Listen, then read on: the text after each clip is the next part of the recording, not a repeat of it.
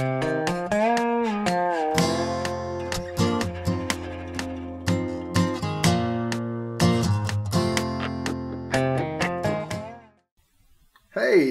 welcome back.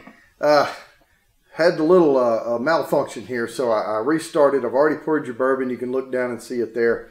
Uh, we're going to talk about Four Roses today. Uh, you may notice, if you don't, I have a little lavalier mic on. I'm trying out a new recorder, but what you don't see is I have uh, studio mics right behind the camera, one on each side, running through a mixer over in, through through my equipment. I'm most assuredly going to use the, the audio that I'm picking up from here, but I'm trying out a new recorder uh, so that we can become mobile because right now I can't take all of this equipment with me uh, if we go somewhere. Um, I already started a recording on this. Um, had to format the SD card on the camera, ran out of space. Uh, it happens. We get started, we have to stop. But we're talking about Four Roses small batch. I'm going to pour myself just a little bit more here uh, because I was sipping on it uh, before uh, I had to uh, restart this. But uh, welcome back. so, um, Four Roses, I, I, I want to say, I think is a is an underrated uh, bourbon right now. A lot of people may not know about it. This small batch, anyway. A lot of people know about Four Roses, but this small batch is excellent. Um, it's got a great nose on it.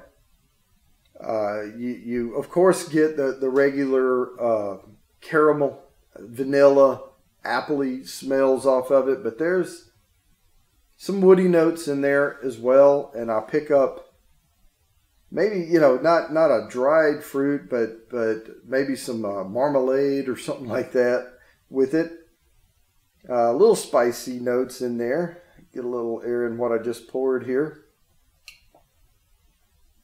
yeah, it's it's a great nose on it. Uh, let me go ahead and uh, give it a taste, and I'll give it another go for you.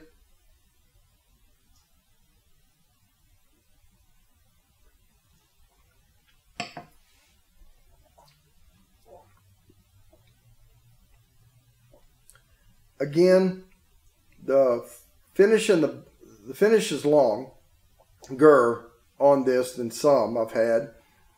I'll preface that not as pleasant. I think I'm getting some floral, some bitter floral. It's sort of like chewing on a rose leaf or something. A petal, I mean. Excuse me. Uh, I'm going to have enough bourbon tonight because I'm going to drink this and yours.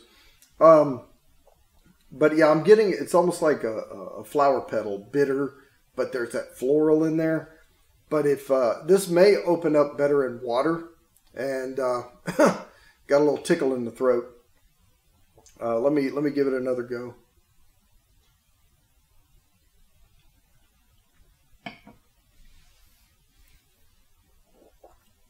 Yep, much better if you warm it a little. It's kind of cool in here. It's probably 70 degrees, maybe 69 uh, in this room. Uh, so the bourbon can kind of get chilly.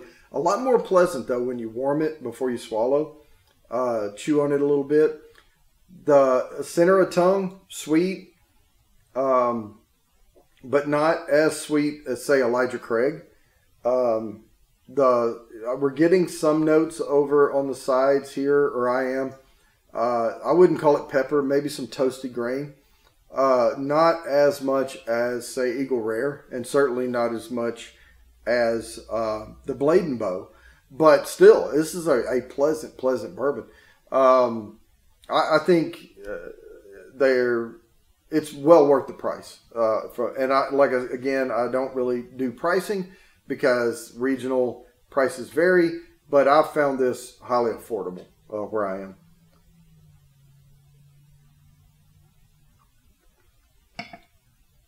Yeah, not a hard punch to the wallet, but a pleasant uh, notes on the tongue. Uh, I, I I really uh, enjoy this bourbon. Uh, I wouldn't call it my favorite. Um, but again, like I said before, these bourbons are like my kids. Um, you know, you love them all different. Uh, so, uh, yeah, a good, good, solid, solid bourbon. If you just want to put add something to the collection on your shelf, I think this is great. I don't think anybody's going to turn their nose up at it. Um, you know, I don't have Jim Beam up there, but nothing against uh, Beam Suntory. I think they make some great bourbons. I know we had the Basil Hayden's. It's a little light in the, in the pants uh, as far as the uh, alcohol content goes. And like I said in that video, I wouldn't uh, smoke a cigar and drink it because I don't think I'd be able to taste it at all. Uh, possibly a good starter bourbon, but this is going to give you some flavor right here. This, these are going to give you some good notes. Um, again, that first initial punch on the back of the throat is kind of florally bitter, but warm it up a little in your mouth. Again, I think it may open up in water. We'll get into that later. Mm. Yep. Good sweet. Got a little uh, a little vanilla kick there uh, going down. Not a super long finish. Not not the the high octane you know roller coaster I was talking about. The tingly, but but it's a it's a nice it's a nice bourbon. So I'm to go ahead and wrap this up, guys.